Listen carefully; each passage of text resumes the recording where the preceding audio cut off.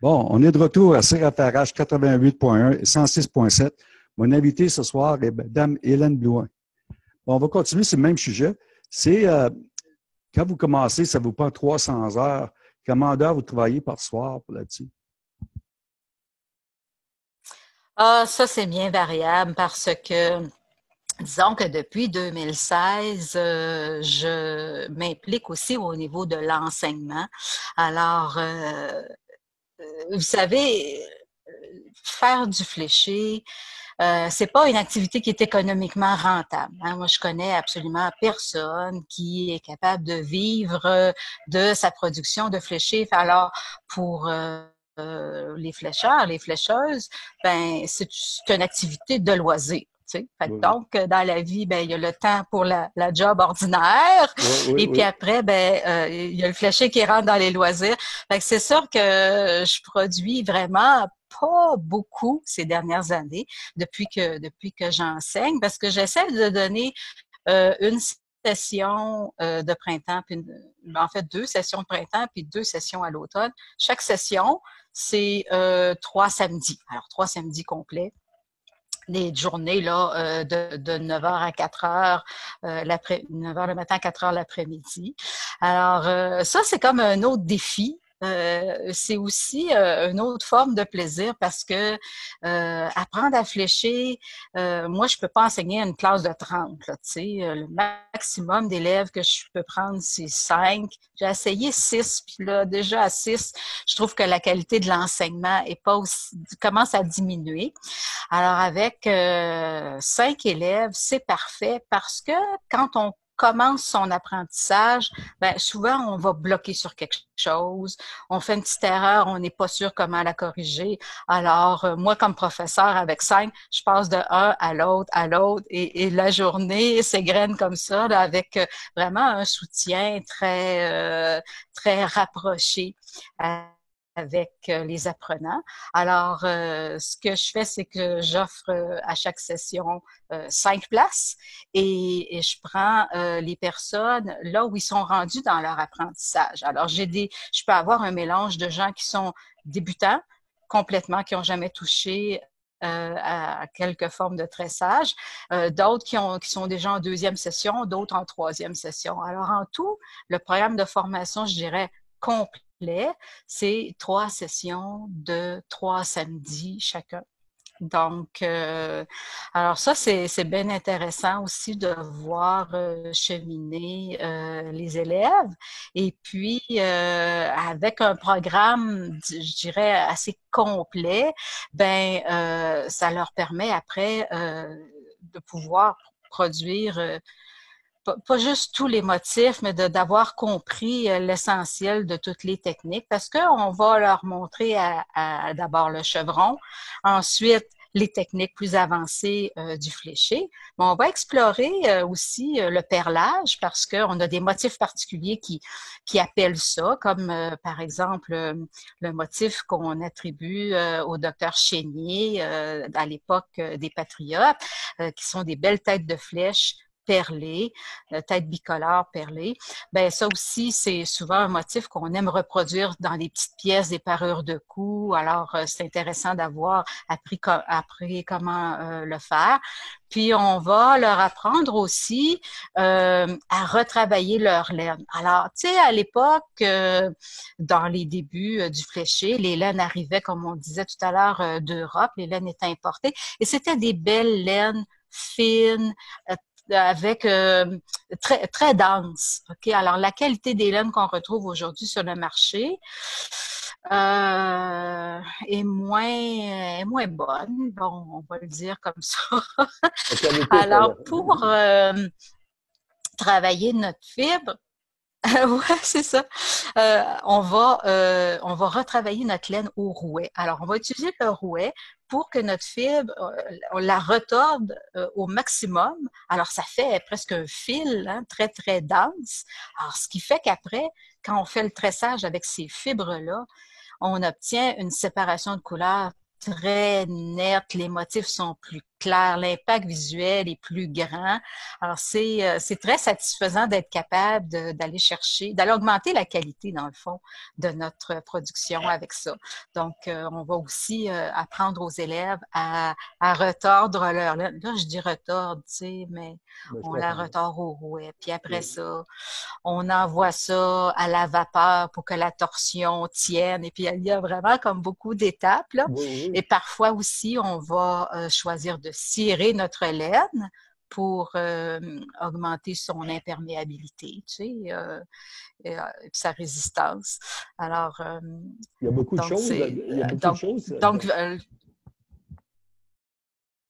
oui, effectivement. Oui, il y a beaucoup de choses qui, euh, pour chaque étape. Est-ce que, quand vous enseignez, quand tu enseignes, est-ce qu'il y a autant d'hommes ou de femmes ou c'est plutôt des femmes qui font ça? Euh, je dirais que la représentation masculine euh, au PIF, euh, je dirais 35-40% après, à peu près, oui, un bon, un bon 40% d'hommes. Euh, s'intéressent à la technique. Euh, ils font un excellent travail. Aussi, la plupart ont, jamais euh, nécessairement exploré le travail de la laine. Mais tu sais, quand tu es intéressé à avoir une ceinture fléchée, ben tu t'investis. Puis finalement, ben, tu tombes dans le panneau, puis tu, tu découvres une passion pour ça, parce que, tu sais, dans le fond, c'est une activité qui est très zen. Hein? C'est un anti-stress absolument formidable. Moi, quand je finis ma journée de travail et que je m'installe pour flécher. Là, regarde, mes yeux puis mon esprit sont sur l'activité que je suis en train de faire. Tu sais, alors, euh, ça a beaucoup de bienfaits, je dirais, dans la vie de faire ça. C'est une sorte de zen, on va dire une sorte de zen qui se promène. absolument, absolument. Je voudrais aussi, euh, quand la laine vient, est-ce qu'elle vient en, en, boule ou elle vient en, en, grosse boule, magnésium, euh, c'est tout d'une chaudière ou comment que ça vient, ça? Euh, c'est assez variable, je dirais. Puis c'est vrai que c'est pas toujours facile de trouver euh, la bonne fibre pour faire du fléché. En fait, nous, on cherche d'abord avant tout une laine qui est 100% laine. Alors pas de nylon, pas de pas de, matière synthétique dedans. Euh, alors parce que on va la retordre, on va la passer à la vapeur. Alors on sait que le matériau naturel, lui, va bien prendre ça. Alors, euh, une fois qu'on trouve notre tube, ben, bien souvent, euh, ça va être en balle ou en écheveau. Euh, mais euh, pour que ce soit facile au moment de faire notre ourdissage, on va préférer qu'elle soit en balle. Alors, euh, oui, on passe notre temps à jouer avec ça. on part de les chevaux, puis on, on roule une balle de laine. Et puis, c'est ça, on va retravailler notre matériau pour que ça soit facile à manipuler, dans le fond, parce que, comme on disait tantôt, si je m'installe pour faire un ourdissage d'une grande pièce et que je sais que chaque fibre, j'en ai besoin de 17 pieds de long, ben là, il euh, faut, que j'aille une installation là, pour faire rouler ça, là, 17 pieds euh, à, chaque, à chaque fil, 300 fois pour avoir le total de ma laine que j'ai besoin pour ma pièce. Alors, euh, c'est ça. Aujourd'hui, on va s'approvisionner en laine dans dans les, magasins de laine, on, on, réussit à trouver euh, quelques fibres 100% laine. Autrement, on va fouiller sur Internet et puis on va euh, commander. Tu sais, euh, ça aussi, ça rend la chose un petit peu plus facile d'être capable de placer des commandes pour certaines qualités précises. On va privilégier pour nos beaux travaux, on va privilégier euh, une laine mérino parce que cette variété-là euh, de mouton, euh, elle a la particularité que la laine, elle est douce et elle est très résistante. Alors, c'est un, mouton qu'on aime beaucoup. Et puis autrement, pour des travaux, euh, par exemple euh, des pièces d'études et tout ça, on va utiliser ce qu'on appelle la laine du pays, donc une laine cardée, euh, fabriquée ici au Québec, et puis qui est disponible en une très, très grande variété de couleurs. Alors, on va aussi encourager la production locale en faisant ça. c'est aussi l'équipement. Autrement, les belles laines, ben, bien souvent, sont importées. Oui, puis l'équipement, est-ce qu'il y a de l'équipement spécial de tout ça? Vous commencez à faire. Ben, à part le rouet, à part le rouet qui va nous servir à, retravailler notre fibre,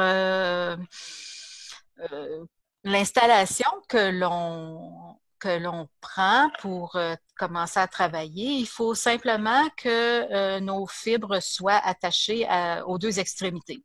Alors, euh, moi, vous me donnez une chaise, une poignée de porte, et puis euh, je suis en business pour, euh, pour commencer à travailler parce que je vais, je vais installer un, un, bout sur la poignée de porte, l'autre bout, je vais l'accrocher après ma chaise, puis là, je vais être capable de tresser des petites pièces. Alors, euh, c'est tout ce que ça prend comme équipement.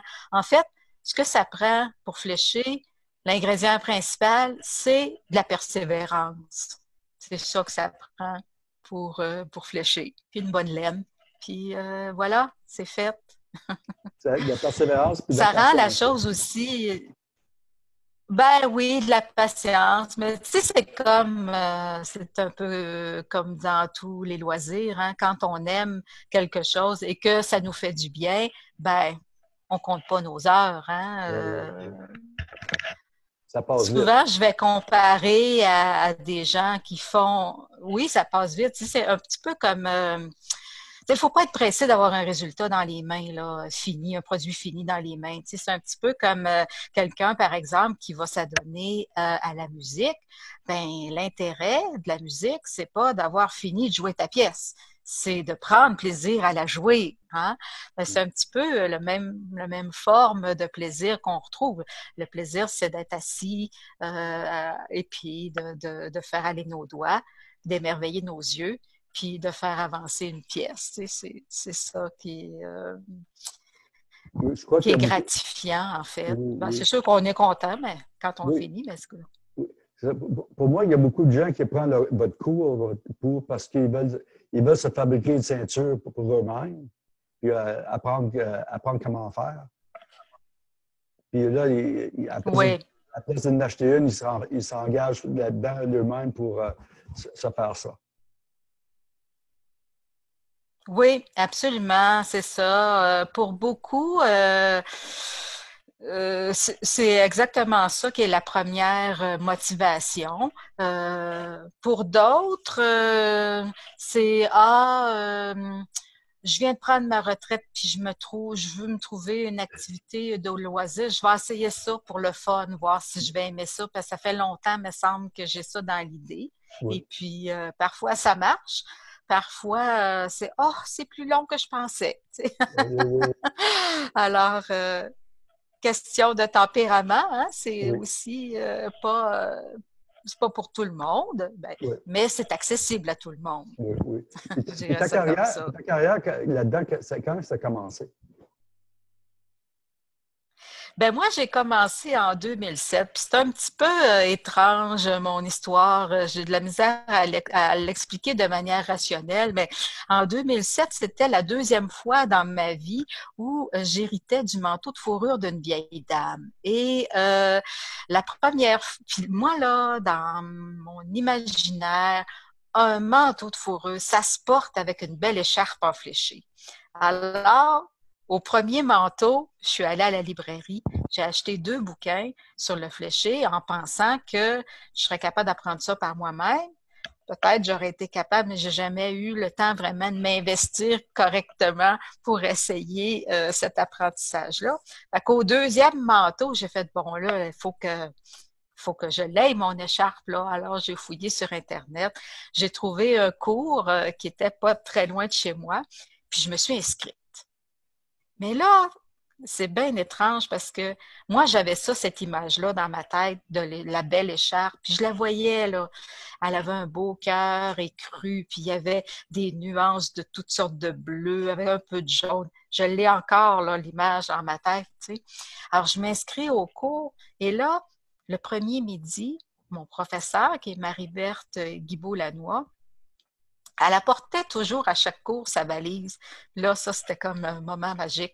Elle ouvrait sa valise pour nous montrer des pièces qui avaient rapport avec ce qu'on était en train d'apprendre. Alors, la première midi, elle ouvre sa valise, puis là, elle nous montre des ceintures fléchées, elle nous montre des ceintures tissées, elle nous explique la différence entre les deux. Et là, ça a été comme une révélation parce que étrangement, même si moi, ça faisait longtemps que je voulais avoir une ceinture fléchée, je réalisais que finalement, j'en avais jamais vu vraiment, là, des vraies ceintures fléchées, tu sais. Je connaissais, mais vraiment pas ça, même si je connaissais le mot même si je, voyais une image dans ma tête. Alors, je trouve ça très étrange parce que autant, en quelque part, c'est un petit peu dans notre ADN, là, la ceinture fléchée, mais autant euh, on n'en voit, on n'a pas si souvent que ça l'occasion d'en voir, tu sais. Fait que ça, ça a été un premier émerveillement. Et puis euh, après, ben euh, j'ai pris une session, puis après ça, parce que c'était intéressant. Troisième session. Mais là, la session 2 puis la session 3, on doit faire comme euh, devoir, si on veut, de session. Là, on fait une grande écharpe. Alors, j'ai fait ma première écharpe au motif traditionnel de l'Assomption euh, dans le cadre de mon cours. Alors, en session 2, avec une belle laine du pays.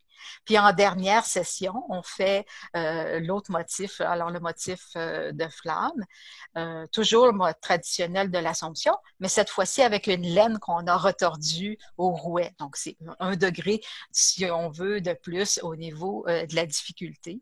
Fait finalement, là, d'une affaire à l'autre, ça faisait comme déjà un an et demi, deux ans que je fléchais tout de même, je dois dire, sur une base régulière. là, ma, ma, belle écharpe, là, avec le cœur écru, là, finalement, elle s'est jamais réalisée, tu sais, elle, ne s'est jamais faite. Elle est encore juste dans ma tête, puis peut-être un jour, je la ferai, tu sais. Ça va être un projet spécial. C'est comme ça que mon histoire a commencé. oui, oui, oui. Euh, Alors, tu as passé plusieurs années, euh, passé plusieurs années à faire ça, puis avant que tu commences à enseigner. Oui, c'est ça.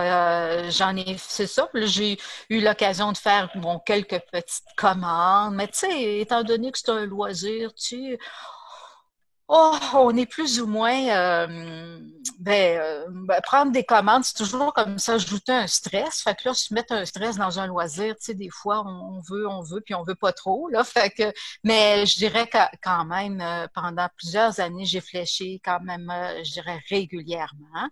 Et puis, ben, en 2014, il y a eu un grand concours de lancé par l'Association des artisans et artisanes de ceinture fléchée de la Naudière. Euh, alors, l'association voulait se doter d'une ceinture fléchée qu'elle rendrait disponible au grand public. Alors, euh, ils se sont dit, on va lancer un concours parmi nos membres et puis euh, la ceinture gagnante appartiendra à l'association. il y aura une bourse de remise à la personne gagnante. Alors, ils ont déterminé les spécifications du concours, tout ça.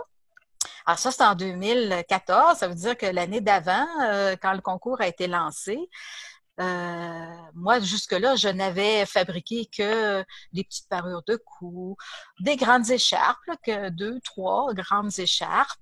Euh, mais là, il fallait faire une, ceinture, une vraie ceinture, deux fois le tour de taille. Là, on parle de six pieds de tressage et tout ça, plus la frage. Fait que je bon, ben écoute, c'est l'occasion. Je me suis lancée, puis là, je m'étais dit, oh, je vais la faire, vraiment je vais, je vais, je vais, je vais la faire le, plus, je vais faire la ceinture la plus belle que je suis capable parce que de toute façon, euh, elle va me rester après dans ma collection. Hein? Ce sera ma première, puis elle va me rester. Sauf que ben, je l'ai gagné ce concours-là. Fait que donc, finalement, la belle ceinture, elle est maintenant, euh, elle appartient à l'association qui est quand même une source de fierté. Fait que je me retrouve encore que j'ai pas de grande ceinture dans ma collection privée. Euh, fait que un jour, ça aussi, j'en aurai une. J'en ai fait, euh, j'en avais commencé une deuxième. Euh, que j'avais vraiment bien planifié avec à mon goût à moi. Avec mon ordonnancement de couleurs. J'avais varié les éclairs avec les flammes, était bien belle. Puis là, il s'est présenté une opportunité de faire un, court métrage sur la fabrication de la ceinture fléchée, incluant toutes les étapes de teinture naturelle. Et et, dans le cadre de ce projet-là, il fallait fabriquer une pièce qui allait euh, aussi appartenir euh, au musée euh, Maître et Artisan à Ville-Saint-Laurent. Fait que ma deuxième grande ceinture que j'ai fabriquée, ben, est partie au musée. Fait que finalement, dans ma collection, j'en ai pas encore une. C'est drôle, ça, faire là. Ça fait que le long métrage, on peut trouver ça où? On peut le trouver sur YouTube. Euh, oui, c'est ça. En faisant Hélène Blouin, ceinture fléchée, vous allez tomber dessus facilement. Puis vos, euh, tes coordonnées, comment on trouve ça sur Facebook? Euh, on trouve ça Twitter? Oui, on trouve mes coordonnées sur Facebook. on trouve mes coordonnées aussi sur le, le, site des maîtres de tradition vivante parce que j'ai eu l'honneur cette année d'avoir cette distinction-là qui a été euh, sous, la, promotion de la, du Conseil québécois du patrimoine vivant qui a lancé un appel de candidature à l'automne dernier. Alors, c'est un nouveau programme national qui a été mis euh, en place par euh, le Conseil québécois du patrimoine vivant pour promouvoir, en fait, ou je ne sais pas trop comment le dire, là, euh, souligner la part de, de, personnes qui euh, se, sont, se dédient à un savoir-faire transmis de génération en génération. Alors donc, le fléché euh, s'est qualifié dans cette première cohorte et dans le cadre du lancement de ce programme-là, puis des premières personnes nommées, les cinq premières personnes à faire partie du programme, ben ils mis en place un site euh, web. Donc, euh, si on cherche maître de tradition vivante, on va également trouver euh, ma fiche là, parmi cette première cohorte-là. c'est le fun, ça. Ça fait que ça, ça a commencé pour toi, ça a commencé, tu as, embarqué avec le conseil. comment ça, ça, ça a marché, ça? Ben, c'est euh, c'est à l'automne passé, je pense, je me souviens c'est septembre, quelque chose comme ça. Euh, euh, ils ont lancé un appel de candidature pour faire partie de cette première cohorte-là, pour lancer le, programme des maîtres de tradition vivante. Alors, c'est et puis là, ben, on, appliquait tout simplement euh, sur le programme avec, euh, évidemment, en, démontrant que de quelle manière on, répondait aux critères qui avaient été établis pour ce programme-là. Et c'est un jury qui évaluait les candidatures et retenait les, cinq premières personnes parmi ce, ce, premier groupe-là. Alors ça, c'est un programme ben, qui est nouveau, qui est, donc je disais c'est la première cohorte. Euh, euh, c'est un programme qui est mis de l'avant par le, je dirais par le Québec, mais par le Conseil du patrimoine vivant, mais avec, euh, je, pense, le soutien du ministère de, de, la Culture. Et mais c'est un programme qui existe dans dans plusieurs pays. On a eu un, colloque très intéressant sur la question justement euh, à la fin euh, du mois de mai. Alors, euh, tu sais, juste pour citer un exemple, parmi les plus avancés dans le domaine, tu sais, au Japon, ça fait comme 50 ans qu'ils ont un programme similaire en place. En France, plusieurs dizaines d'années aussi. Mhm. Alors, nous, ici au Québec, ben, c'est nouveau. Et puis, on est content que, moi, je suis très, très d'abord reconnaissante aux jury euh, d'avoir retenu ma candidature, mais je suis surtout vraiment très fière de voir que euh, le fléché est représenté dans cette euh, première cohorte parce que ben, le fléché a été reconnu au patrimoine immatériel du Québec en 2016. Alors là, que le fléché soit aussi représenté en 2020 parmi les maîtres de tradition vivante, il y a comme ben, pas une suite logique, mais tu sais, ça, ça vient encore quand même euh, renforcer l'intérêt puis l'aspect symbolique important que le fléché représente. Une partie de la culture en même temps. Oui, c'est ça. Tu sais, c'est un symbole identitaire euh, très fort euh, que plusieurs partagent aussi. Alors, euh, ben oui, on est content que ça, que ça en fasse partie. C'est on arrive à la fin de l'émission. Une belle source de fierté. Oui, oui. On arrive à la fin de l'émission. Je voudrais te remercier beaucoup pour ta participation ce soir. Et on va se parler bientôt. Merci encore. Bonjour. Merci, puis euh, salutations à votre auditoire.